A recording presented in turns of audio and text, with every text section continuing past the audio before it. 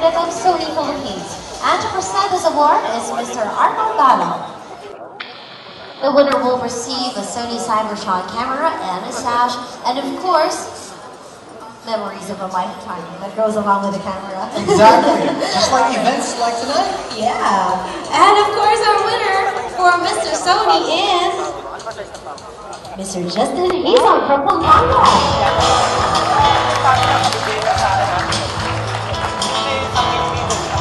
Aha! Second award for tonight.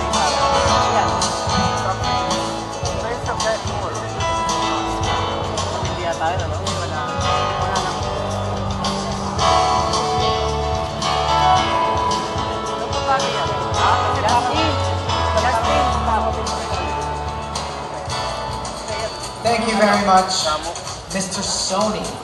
Our next